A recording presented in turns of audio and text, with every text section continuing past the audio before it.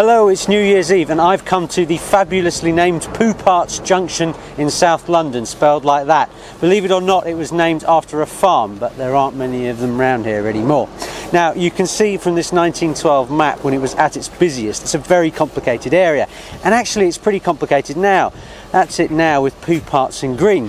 What you can see here is the lines from London Victoria swooping down here these lines we're standing on, or we would be standing on if they were here, these are the Ludgates that go around up to Brixton and areas like that. And if we walk this way and look down there, that's Clapham Junction.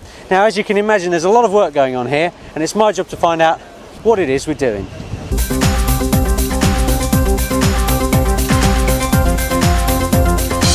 So we're here at Poupart's to renew two point ends plus about 200 metres of plain line track.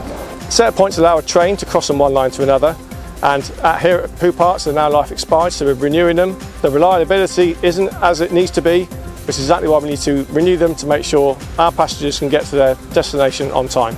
So despite being in Clapham, this is actually Victoria Area Signalling Centre and as you can tell by its beautiful exterior design, it dates from the 1970s. The equipment is gradually wearing out inside and out on the ground as well. So we're going through a process of gradually replacing it all and moving control to our state-of-the-art control centre in Three Bridges. This is the area covered by the various parts of the project. You can see Victoria to Streatham and Balham there in pink, which is the phase we're going through now, with further phases to come. What you can see here is a small part of a massive 160 million pound resignaling scheme which involves track, it involves switches and crossing points and also all of the signalling, the gantry, everything.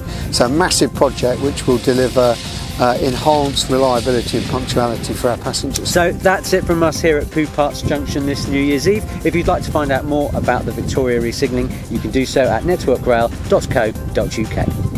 And a massive thank you from me again to our railway colleagues who have worked over the bank holidays to do this vital maintenance work. You really are key workers. Happy New Year to everybody.